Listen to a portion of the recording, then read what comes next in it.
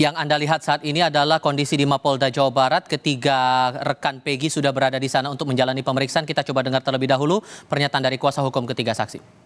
Lihat Pegi tidur nih dekat pintu. Ya jam 12 malam tanggal 27 Agustus 2016 malam. Itu okay. ya. Sementara itu okay. ya. Dan keterangan bukti apa Pak yang dibawa Pak hari ini Pak untuk pemeriksaan?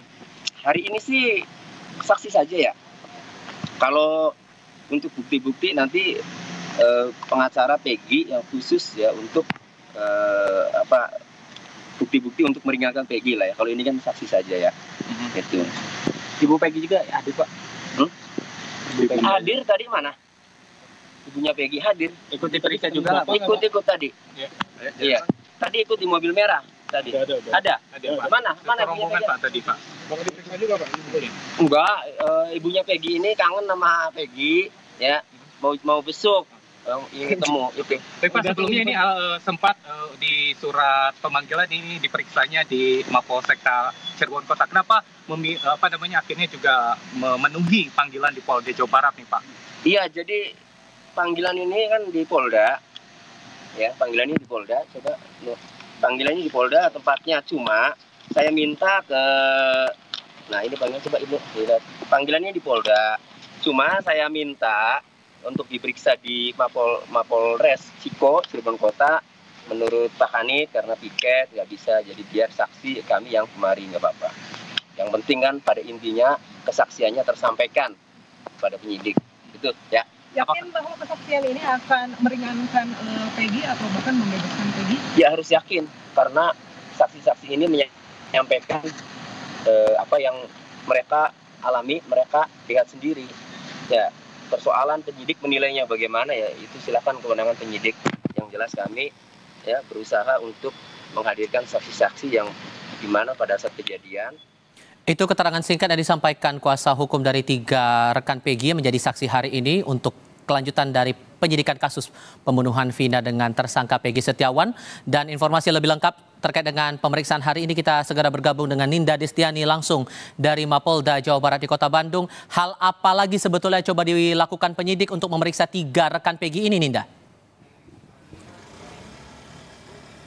Iya, selamat sore Tifa dan juga saudara betul saat ini dari Polda Jawa Barat ini akan turut melakukan pemeriksaan lebih dalam terhadap ketiga teman Peggy yang juga saat ini baru saja tiba di Polda Jabar, yakni ada Ibnu Paman Peggy, uh, Suharsono alias Bondo, serta Parman, teman dari Peggy Setiawan. Tentu uh, panggilan ini juga turut uh, bentuk dari Polda Jabar untuk memeriksa lebih dalam karena memang uh, ketiganya ini bersaksi kepada awak media bahkan juga kepada kepolisian nantinya bahwa ketiga teman uh, Peggy tersebut ini menyampaikan bahwa Peggy Setiawan ini justru tidak terlibat pada saat kejadian di Cirebon ya pada tanggal 20 Agustus 2016 lalu. Ketiganya ini bersaksi bahwa Peggy Setiawan ini ada di Kabupaten Bandung pada saat itu malam jam 8 malam.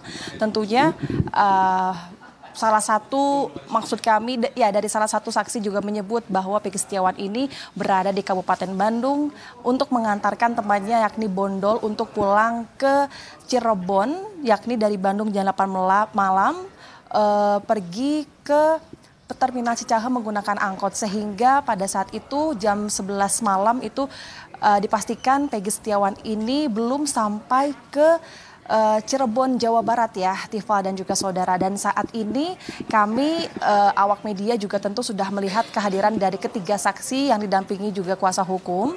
Dan tentu juga nantinya ini akan dilakukan pemeriksaan dan tentu uh, akan langsung menghadap ke Direkrimum Polda Jabar sebelum nantinya akan dilakukan pemeriksaan. Dan sebelum ini kita langsung saja dengarkan kesaksian langsung dari kuasa hukum uh, Peggy Setiawan. Kami silakan. Tempatnya sama seperti itu kejadian dan pada waktu yang sama seperti itu?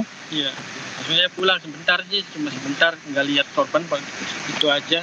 Terus mengetahui ada kejadian pembegalan sehingga Vina dan juga Eki uh, terbunuh. Ini kapan? Itu waktu ada penggerbegan di rumahnya kayak gitu. Saya memastikan benar enggak. Saya main ke rumahnya, rumahnya ibunya pagi ini langsung saya main.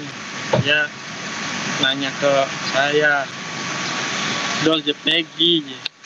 Peggy Peggy kan masih ada di Bandung. Tuh nggak pulang saya yang pulang. Saya yang diantarin sama Peggy sama Ibnu sama Robi Oke, jadi pada saat penggeledahan oleh pihak kepolisian di rumah Peggy, posisi Peggy masih berada di rumah, dan Pak Bondol ini langsung melihat ke rumah Peggy yang sedang digeledah seperti itu. enggak berapa harinya Beberapa aja. hari, oke. Hmm. Oke. Baik. Cukup ya? Ya, mau mau memenuhi pemeriksaan dulu ya. Nanti gampang dari pemeriksaan eh, bisa kita sampaikan lagi ya. Oke. Ya, pemirsa itu dia keterangan dari Bang, tim kuasa hukum. Kremum. keterangan Di Kremum, Kremum. disampaikan oleh kuasa Iya, itu dia tadi memang pernyataan yang disampaikan langsung oleh rekan dari Peggy Setiawan, Suharsono alias Bondol yang tentu hari ini juga hadir di Polda Jabar eh, untuk mengikuti pemeriksaan lebih dalam untuk menjadi saksi bagi Peggy Setiawan. Sementara. Iya, Ninda Destiani melaporkan langsung dari Mapolda Jawa Barat di Kota Bandung. Terima kasih.